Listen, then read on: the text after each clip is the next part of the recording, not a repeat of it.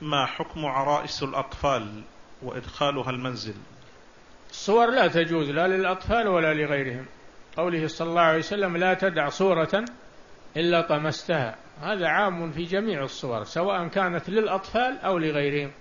ولا تدخل المنزل لا تكون في المنزل صور. لقوله صلى الله عليه وسلم لا تدخل الملائكة بيتا فيه كلب ولا صورة. نعم.